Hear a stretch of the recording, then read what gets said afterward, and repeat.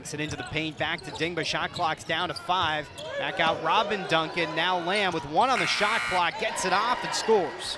What an option to have when you're trying to run your offense. Good look by Josh there, but he's got to look to be a little bit more aggressive. Stef Smith, the pirouette, finds himself open and lays it in. Duncan's got a size mismatch on Rivera, dumps it to Lamb, draws the bump, count it, and one. Back out for Lamb. For beyond the arc, too strong, but the long rebound out to Duncan keeps it alive. Patella takes another look, this time knocks it down. By 11 points, it's been a methodical 7-0 run for the Catamounts. Gantz tries a three, all net.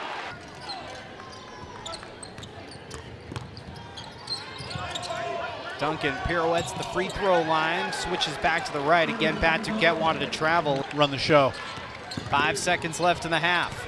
Duncan on Rivera, steps back, lets it go, bounces in, hit every part of the iron and falls.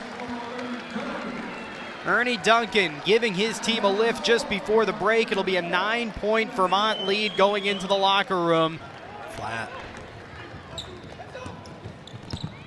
Back on offense, down low Lamb is able to grab it and scoop it home.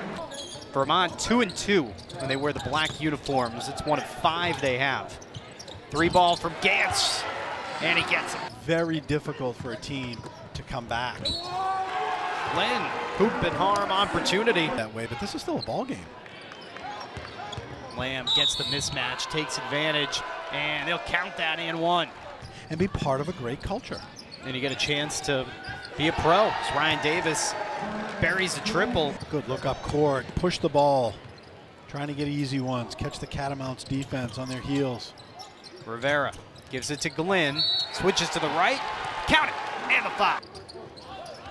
Rivera gets it down again, Gantz, backs his way in without Lamb in the game, hands it off to Rivera. Takes it into Nice the lane, dumps it down to Daly for two. Got to try to prevent Lamb from touching the basketballs. He's got it now. Lamb puts it to the deck, takes two big steps, and one. Not much you can do there. So the Catamounts were tested here tonight by UMass Lowell, but they come away with a 74-65 victory.